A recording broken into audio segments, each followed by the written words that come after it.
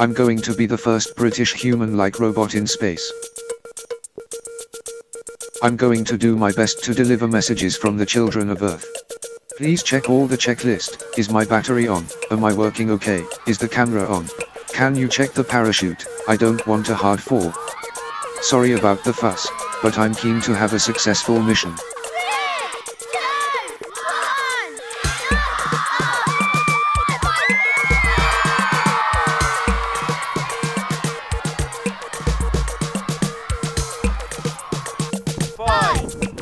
I'm named after Tim Peake you know. If I had feet I'd be following in his footsteps.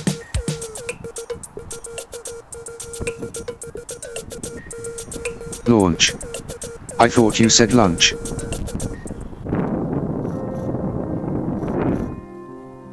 Wow. Spectacular view. I'm now at the height an airliner cruises at. Oh it's colder than the Arctic in winter up here. I'm starting to have second thoughts about this. I wish I had a friend with me. It's lonely up here.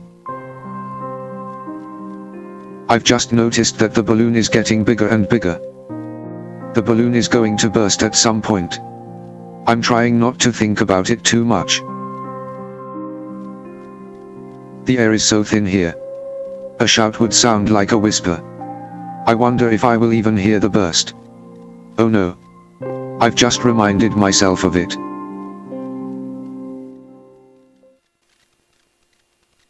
Greetings humans of Earth. I, Peaky, have come with a very important message. In this world there are people dying of starvation. There are people who have no homes and are living in streets in the cold, harsh weather. There has, and still is, war going on in the world. Many people die or get hurt every day in ways that are unnecessary.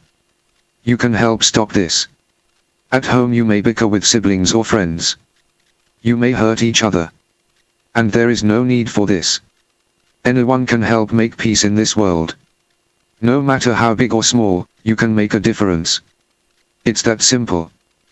This message comes to you with help from human Nicole in 5th class at St. Joseph's School, Kinvara, Ireland. Thanks Nicole. The sky is really looking black now. Seriously the view is amazing here. Do you know that the sky is blue because of oxygen molecules? As the air here is so thin it appears black. My altitude is 28475.8 meters up. The clouds are far, far, far below. Find out about learning programming with me at your school on www.ohbot.co.uk. What's that popping sound? Oh dear. I think the balloon has burst. Help. Air friction needed.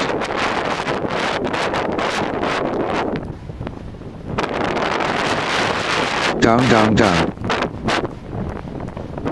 Oh. I'll be smashed into a million splinters. I'm dropping like a stone. The parachute is doing almost nothing to slow me down because the air is so thin. The temperature is dash 40 degrees C. I'm a frobot. Phew, at last I've slowed down a bit. The parachute is working.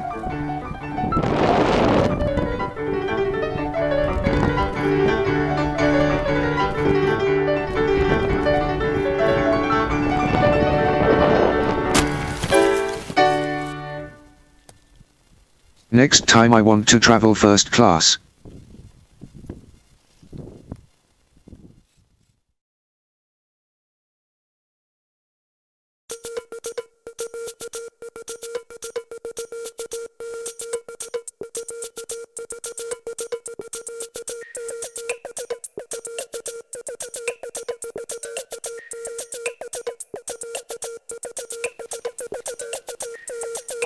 Why did the robot go into space? Because it was programmed by a human that didn't consider robot ethics.